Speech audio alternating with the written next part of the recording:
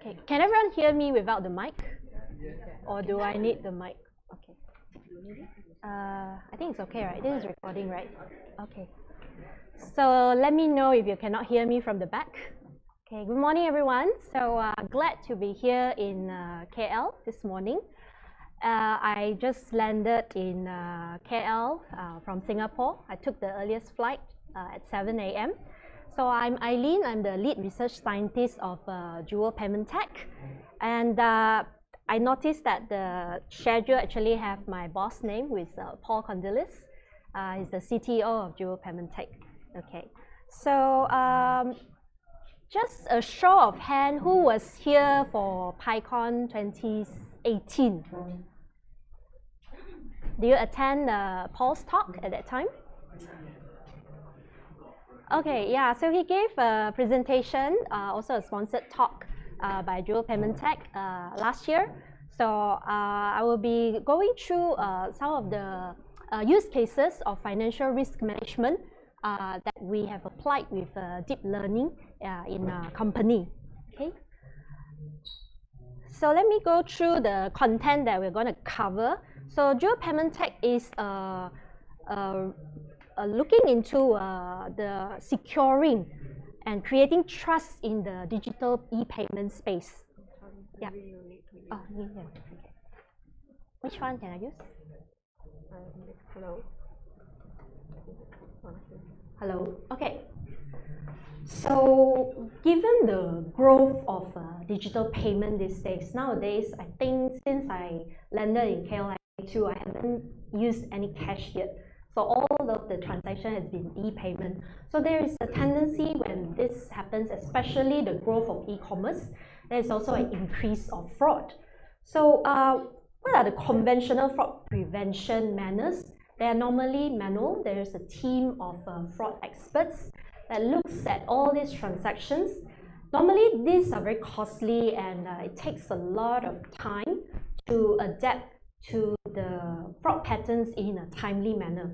So our team here uh, in uh, Singapore, uh, which consists of, uh, these are some of my team members here. Uh, we have a few uh, data scientists, um, and we are looking at how to use the concept from artificial intelligence, namely neural networks and as well as autoencoder to look at the capabilities of fraud scoring uh, and also another area that we also look at is in terms of uh, how do we detect merchants that are deceptive, okay?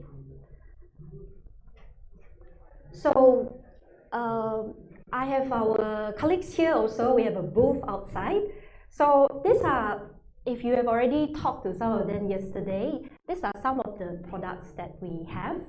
Uh, mainly uh, for today, I'm going to work through uh, these two main areas, which is the first one to identify uh, fraudulent transactions, and secondly, to look at the marketplace monitoring, which is to identify what are the risky items that have been uploaded to the marketplace.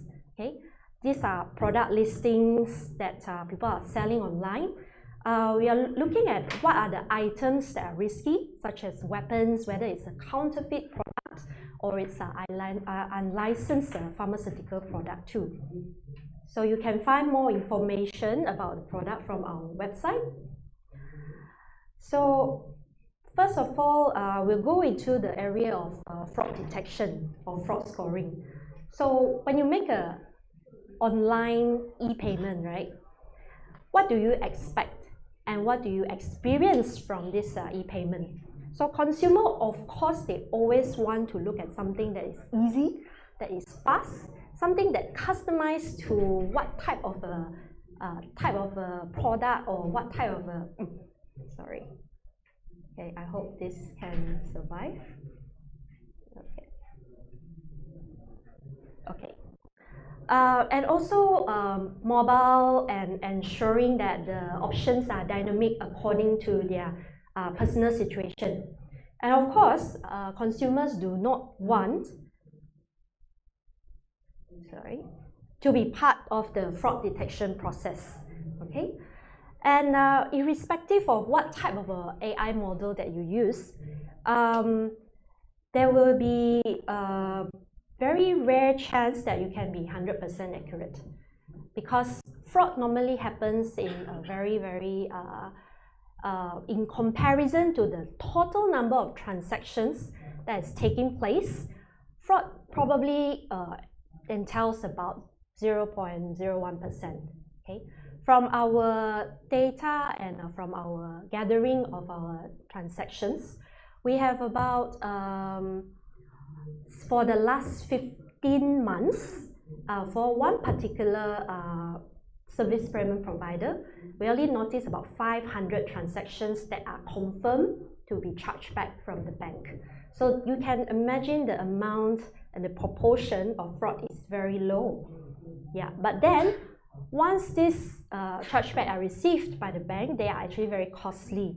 So that's the thing that motivates uh, this uh, uh area and this product.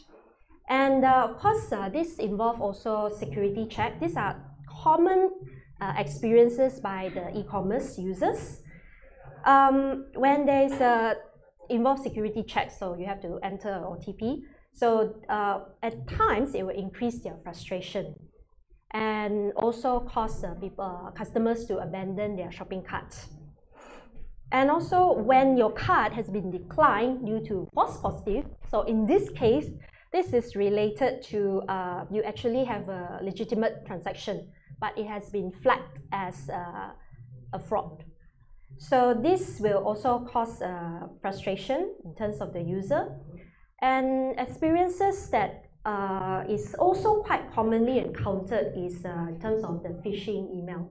So all your, when you, let's say for example, you get an email that was actually a phishing email, but it's actually from uh, the uh, e-commerce, maybe a company, Lazada, asking you that there's a voucher for this 10-year uh, anniversary or something, and ask you to enter your credit card information inside.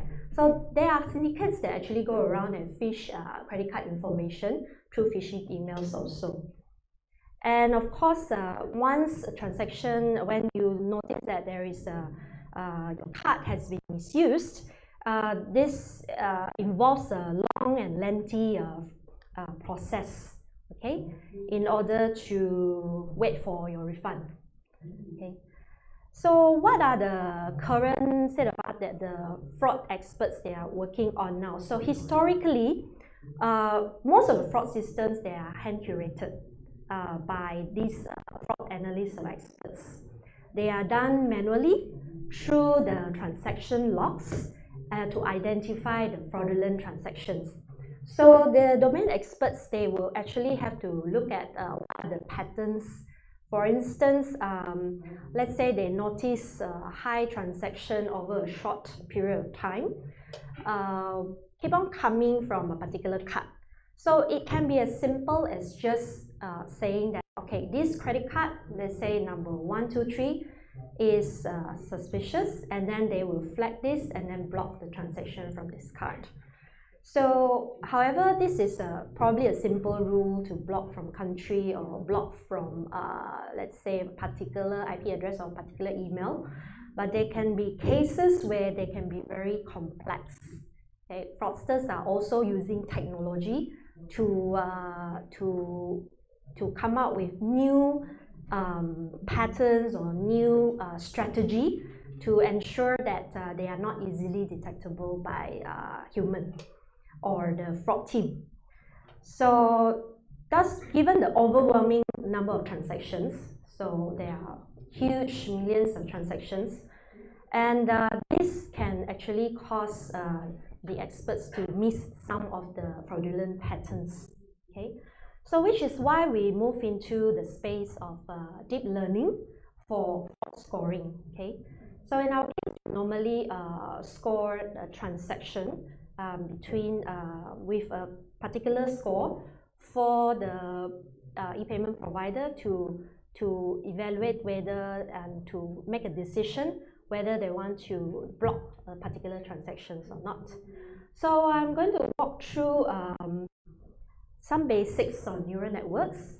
So deep learning in particular has been uh, quite a, the word these days, right? And um, it's actually referring to uh, machine learning algorithms that will uh, allow computational models of multiple processing layers to learn a representation of the data. So what we in our team uh, at Paymentech is working on is to look at the representation of the data, uh, in particular what are the, how are fraud uh, transactions being represented. Okay. Um, common use cases for deep learning involves, uh, this is the most popular one, which is a convolutional neural network. So you can notice here that the convolutional layer at each um, step, they will give uh, different types of uh, features to be represented. So for this particular model, in this case, is for images. Okay. So some of the features that can be represented from your data set is such as edges, blobs. Uh, coming to deeper layer, then it will be on the texture. And then finally, at the last layer, you will start to see the, the uh, images that you learn when you train the model will be um, more of an object that can be classified because this, uh, all the images have been represented through this uh, convolutional neural network. So some of the popular deep learning models uh, that um, since the early days is such as the multi-layer perceptron. Uh, convolutional neural network is mainly uh, quite popular use case uh, for images. Um, recurrent neural network for sequences, time series sequences. Uh, long short-term memory is expansion from recurrent neural network as well as uh, some of the deep belief networks and deep stacking models. So I will be, um, so for the common data set that's been used for testing or sort of benchmarking, so when you do a data science 101, the most common data set that you normally see is the MNIST handwriting data set for digits. So here, uh, normally there's a digit from 0 to 9. There's about 50,000 handwritten digits. So these digits, these images, um, when you input it uh, to a neural network to be trained, what you get is vectors representation. Okay, so this is the goal of uh, training a neural network. We always want to have highly separable um, data points so that we can classify it uh, either with a or other types of Okay, so for example, different numbers, uh, different digits can be represented um, in this form. So very generally, I think most of you also know that uh, this is what we will be looking at. The hidden, uh, the neurons or the nodes that is shown in the graph is basically a representation of how our brain works. So especially since for the last uh, one day you have been learning, you have been taking in a lot of in information, right? You have been uh, receiving a lot of input. So your brain will actually be, there will be neurons that are activated. Okay, so this is a representation that um, is the basic and the fundamental for neural network. So you have uh, your inputs, and then you have a set of weights. Weights here refer to the uh, connections okay, in between the nodes. And you sum these weights with your input and there is an activation function. Okay, This is the common architecture uh, for uh, the nodes in the neural network. Okay, So the neuron will be activated if there is a pattern match. Okay, and through this uh, network, uh, complex patterns can be learned and can be identified. Okay. Next, we move to introduction on autoencoder. So we use the autoencoder to, to reconstruct our input uh, on the output layer. Okay. So typically for autoencoder, there is a encoding part and also the decoding part. So the goal or the aim of uh, autoencoder is to reconstruct uh, the output in order to get a compressed representation of your feature. So some of the popular use cases for an autoencoder is uh, for uh, classification. You can use it for classification, clustering, and dimensionality reduction is if you have a data with very high dimensions, you can reduce it and compress it for um, uh, any kind of use cases that you want to work on. And for our case here for fraud detection, we'll be particularly looking at uh, using the autoencoder as an anomaly detection. Okay. Um, so we use Python, of course, to build our autoencoder. So here are some of the popular Python tools um, that is uh, commonly in use. Um, in the two main one is the TensorFlow with a, with a wrapper called Keras and also PyTorch. Yeah. Uh, so Python and data science has been so closely associated since a few years ago.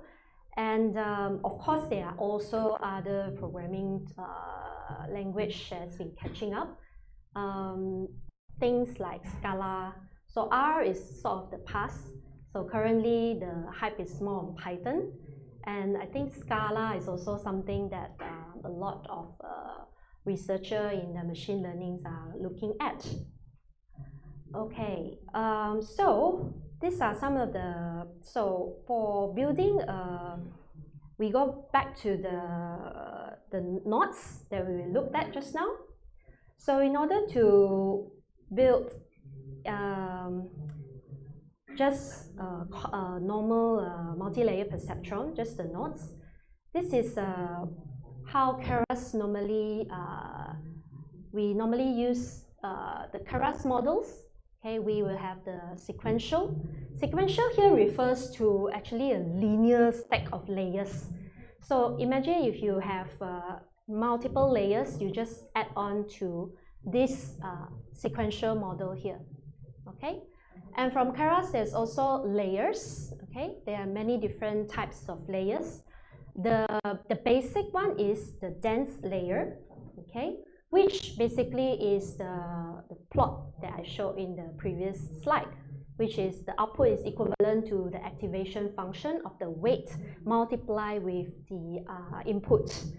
Um, and also there is also a bias variable there. Okay, and of course you add the dense layer. So this is the one with the three hidden nodes. Okay, given that your input is of the size 4, and you can use uh, some of the activation function that is available. Um, for this case, this is a ReLU activation function. So what it means is if your input is below zero, uh, they will all be suppressed to zero. Okay, and if it's more than uh, zero, then it will just follow a linear path. Okay. And uh, the next layer that we look at here has uh, four outputs, uh, four nodes, okay? And you can define it as an activation layer of the sigmoid, okay?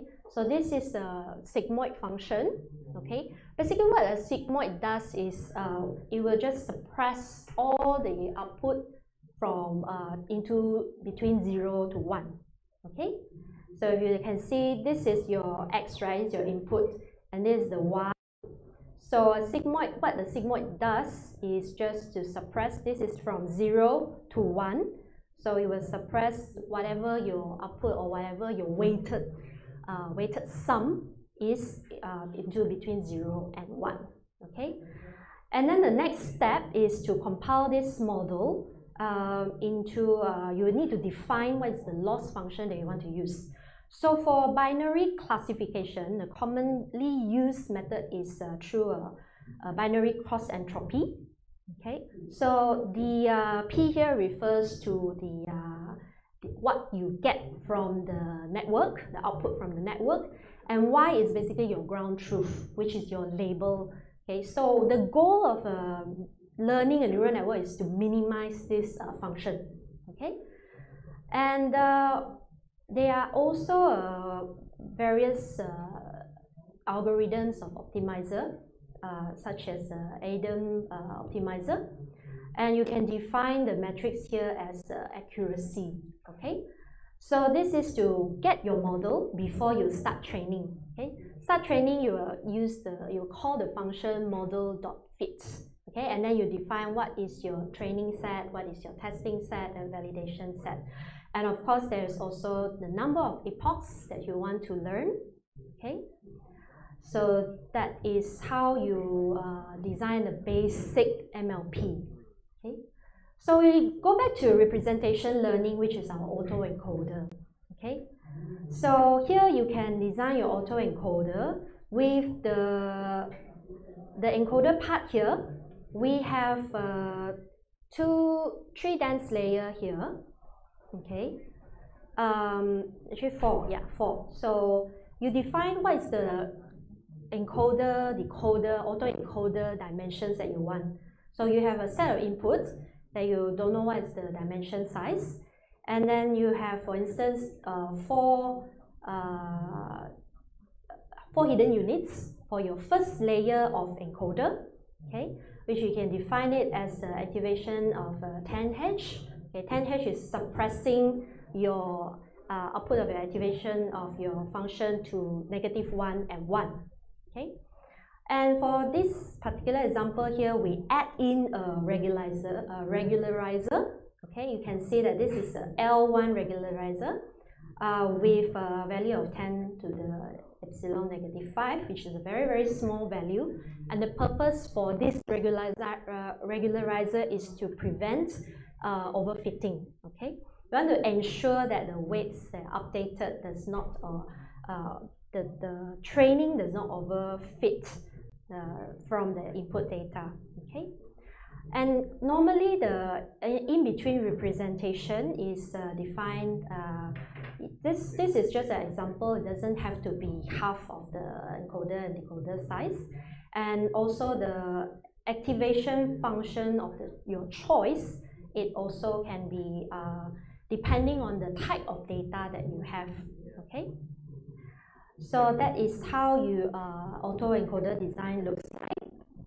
So how do we get the representation, which is from the, the compressed feature learning here that we, we've seen? Okay, so you can actually get it back from the layers that you have defined just now.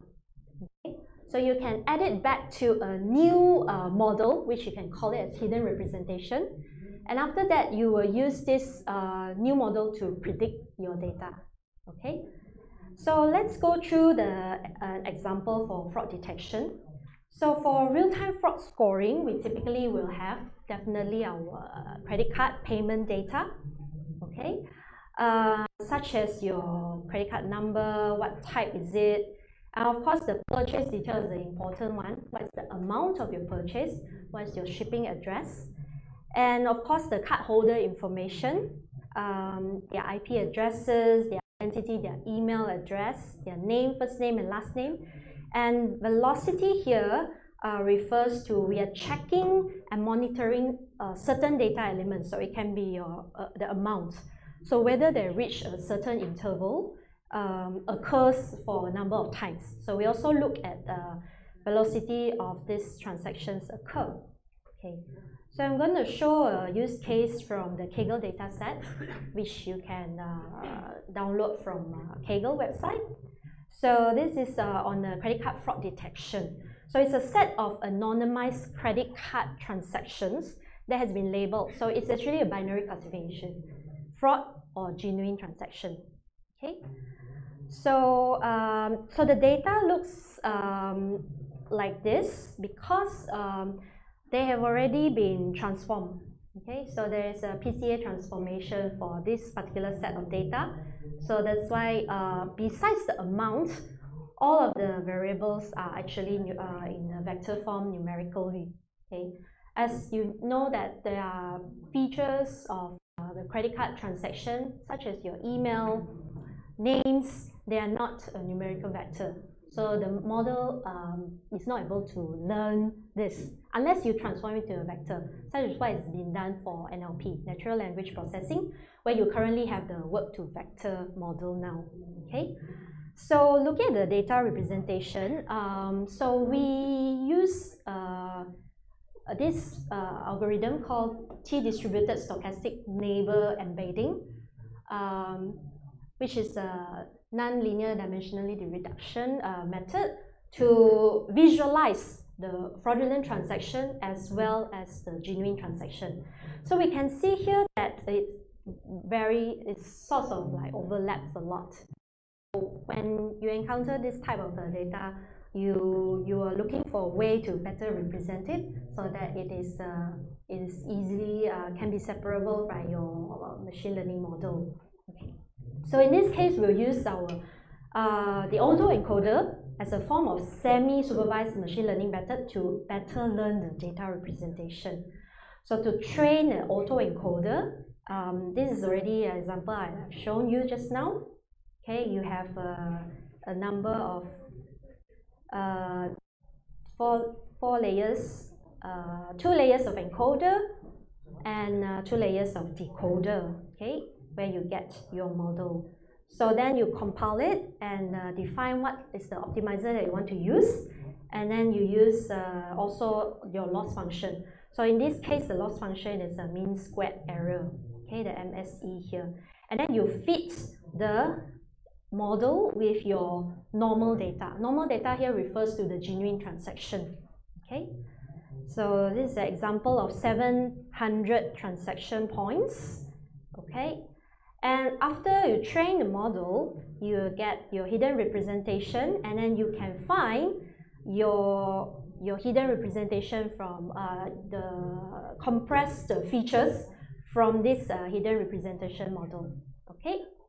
So, um, so this example is just a very small example which consists of 700 uh, normal transaction, okay, for illustration purposes. Okay, and uh, so we do another t-SNE plot, and we can see that now after uh, using the autoencoder representation, we see the fraud and as well as the normal transaction, you can see a high separability here.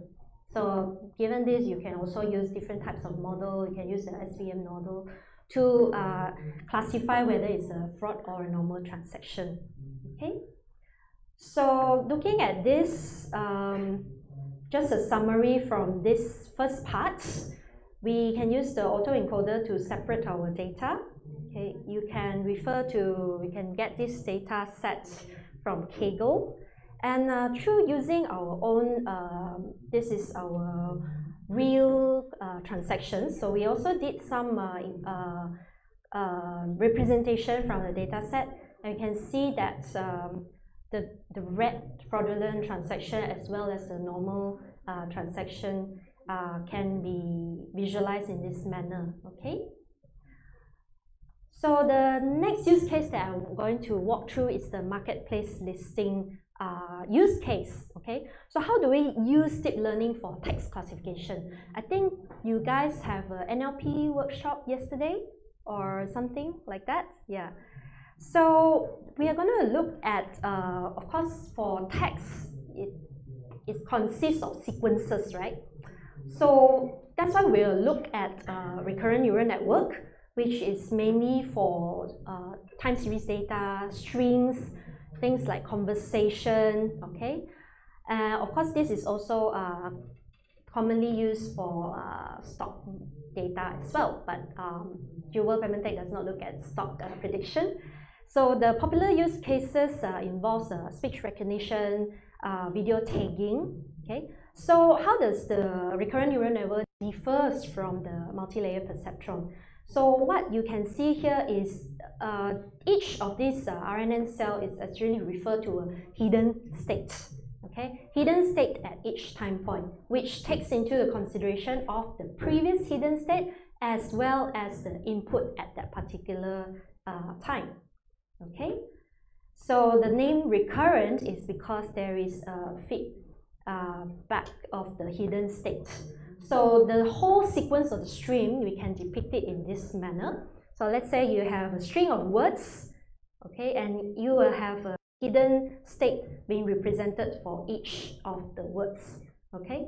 So the next uh, word will receive the state from the previous uh, hidden state. Okay.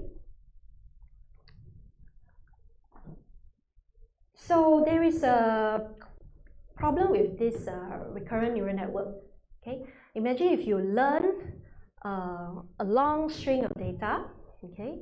You will find that there is a problem of vanishing gradient okay that will actually cause your weights to be not be able to update it for training okay? so that's why a new algorithm that we are looking at is called the long short-term memory method so this LSTM cell here actually consists of gating mechanism. So gating mechanism here is uh, sort of uh, help you remember things that you need to remember and to forget things that you cannot remember okay? And uh, so the first one that we are looking at is the forget gate. Okay, so this is actually uh, how you can, there's a sigmoid activation function here, okay, to, to tell you whether to completely keep it or to completely get rid of the information, okay. So this is from the previous hidden state and this is the input data. So the next one that we look at is the uh, it's called the input gate layer okay so in this input gate layer you also have uh, uh, this is the input okay? And you have a new candidate value here which is an updated uh, representation or updated value of the current uh, inputs okay? And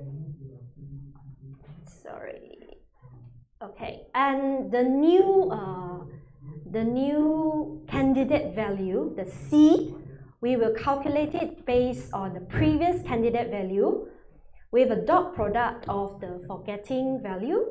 Uh, and also we add it with the input gate layer and also the new candidate value here to get the final candidate value.